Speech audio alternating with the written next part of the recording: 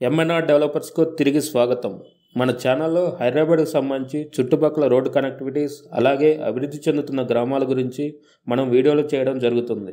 ఇప్పటి వరకు మనం హైదరాబాద్ ఔటర్ రింగ్ రోడ్ మరియు రీజనల్ రింగ్ రోడ్ ఉత్తర భాగం జహీరాబాద్ నిమ్స్ గురించి వీడియోలు చేయడం జరిగింది. వాటి గురించి తెలుసుకోవాలంటే డిస్క్రిప్షన్లో లింక్ ఇవ్వడం జరుగుతుంది. ఇప్పటి నుంచి మన ఛానల్ ద్వారా హైదరాబాద్ రియల్ ఎస్టేట్ ఎలా ఉండబోతుంది ఏ ఏరియాల్లో ఫ్యూచర్లో అభివృద్ధి చెందబోతున్నాయి అందుకు సంబంధించిన కారణాలు ఏమిటి అనేవి దృష్టిలో ఉంచుకొని వీడియోలు చేయడం జరుగుతుంది. మేము చేసే అన్ని వీడియోలు మీరు మిస్ కాకుండా చూడాలంటే వెంటనే మా ఛానల్ సబ్స్క్రైబ్ చేసుకొని బెల్ సింబల్ను ప్రెస్ చేయడం ద్వారా వీడియోల నోటిఫికేషన్ పొందగలరు.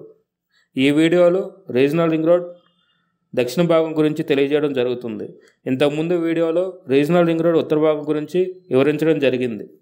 రీజనల్ రింగ్ రోడ్ ఉత్తర భాగంలో ఏ జిల్లాలు మరియు మండలాలు గ్రామాల ద్వారా రీజనల్ రింగ్ రోడ్ అలైన్మెంట్ చేశారు ఎందుకు రీజనల్ రింగ్ రోడ్ నిర్మించారు దానివల్ల హైదరాబాద్ డెవలప్మెంట్కి ఎలా సహకరిస్తుంది అనేది తెలియజేయడం జరిగింది. రీజనల్ రింగ్ రోడ్ దక్షిణ భాగంలో ఏ జిల్లాలు ఏ మండలాలు మరియు ఎగ్జిట్స్ అనేవి ఎక్కడ వచ్చే అవకాశం ఉండొచ్చు అనే విషయాలు ఈ వీడియోలో తెలుసుకుందాం. రీజనల్ రింగ్ రోడ్ దక్షిణ భాగం నూట ఎనభై రెండు కిలోమీటర్లు ఉండబోతుంది. దీనికి మొత్తం ఐదు వేల ఎకరాలు భూమి అవసరం అవుతుందని ప్రభుత్వం అంచనా వేసింది. దక్షిణ భాగం అనేది నాలుగు జిల్లాలను కలుపుతూ నిర్మించనున్నారు. అవి సంగారెడ్డి రంగారెడ్డి నల్గొండ వికారాబాద్. దక్షిణ భాగం ఎక్కువ భాగం కొండలు గుట్టలు అటవీ ప్రాంతం ఉన్నందువల్ల అలైన్మెంట్కి ఆలస్యం అవుతుంది. రీసెంట్గా గవర్నమెంట్ రిలీజ్ చేసిన కొన్ని ప్రాంతాలను కలుపుతూ ఈ అలైన్మెంట్ వివరించడం జరిగింది. ఆ ప్రాంతాలు ఏవనగా సంగారెడ్డి నవాబ్పేట్ చేవెళ్ళ షాబాద్ షాద్నగర్ అమంగల్ మర్రిగూడ శివన్నగూడ నారాయణపూర్ చౌటుప్పల్. ముఖ్య గమనిక ఏమనగా ఇప్పుడు మనం వివరించబోయే అలైన్మెంట్ ఫైనల్ కాలేదు. పైన చెప్పిన ప్రాంతాలను కలుపుతూ అప్రాక్సిమేట్లీ వివరించడం జరుగుతుంది. రీజనల్ రింగ్ రోడ్ దక్షిణ భాగం నుంచి తెలుసుకుందాం.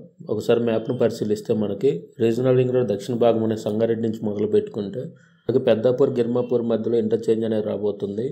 అక్కడి నుంచి ముందుకెళ్తే మనం మెహతాబ్ ఖాన్ గూడెం దగ్గర మనకు ఇంటర్చేంజ్ వచ్చే అవకాశం ఉంది. ఈ ఇంటర్చేంజ్ అనేది మెహతాబ్ ఖాన్ గూడెం అనేది మనకి శంకరపల్లి టు మోహన్పేట్ స్టేట్ హైవేకి మధ్యలో వస్తుంది. అలాగే ముందుకెళ్తే మనకి నవాబ్పేట వస్తుంది. ఈ నవాబ్పేట అనేది మనకి Vikarabad Nawabpet stay state highway కింద ఉంటుంది. మెహతాబ్ ఖాన్ గూడెం కనెక్టివిటీ ఉంటుంది. అలాగే ముందుకెళ్తే మనం చేవేళ్ళ దగ్గర ఒక ఇంటర్చేంజ్ వచ్చే అవకాశం ఉంది. చేవేళ్ళ అనేది మనకి మనకి Vikarabad to Chevella national highway కింద ఉంటుంది. National highway number one sixty three అలాగే మనం ముందుకెళ్తే షాబాద్ మీదుగా షాద్నగర్ అనేది మనకు బెంగళూరు హైవేకి ఉంటుంది ఇది national number forty four NH forty four national highway ఇది మన బెంగళూరు కనెక్టివిటీ. ఈ షాద్నగర్ టు పరిగికి స్టేట్ హైవే ఒకటి ఉంటుంది. అక్కడ మనకు ఒక ఇంటర్చేంజ్ వచ్చే అవకాశం ఉంది. అలాగే మనం ముందుకెళ్తే షాద్నగర్ బాల్నగర్ మధ్యలో మనకు ఇంటర్చేంజ్ వచ్చే అవకాశం ఉంది నేషనల్ హైవే మీద. అలాగే ముందుకెళ్తే మనం కేశంపేట మండలం మీదుగా ముందుకెళ్తే మనకు అమ్మంగల్ దగ్గర ఒక ఇంటర్చేంజ్ వచ్చే అవకాశం ఉంది. ఈ అమ్మంగల్ అనేది మనకి శ్రీశైలం హైవే మీద ఉంటుంది. ఈ శ్రీశైలం హైవే అనేది మన నేషనల్ హైవే కింద ఉంది. శ్రీశైలం హైవేలో ముచ్చేట్ల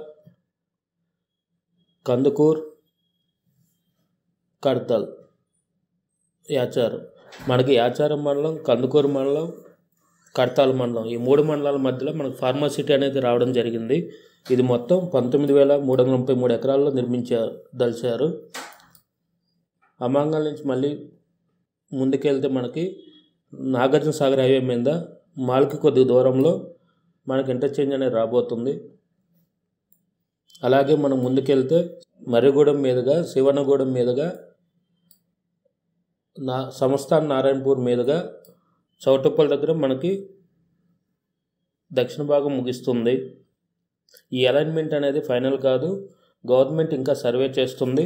Government final gazette notification release చేసేనాక మళ్ళీ విలేజెస్ గురించి వీడియో చేయడం జరుగుతుంది. ఈ వీడియో మీకు నచ్చింది అనుకుంటున్నాను. మేము ఇలాంటి వీడియోలు చేస్తూ ఉండేందుకు మీరు ఇప్పుడే మా ఛానల్ సబ్స్క్రైబ్ చేసి బెల్ సింబల్ ప్రెస్ చేయడం ద్వారా వీడియోల నోటిఫికేషన్ పొందగలరు.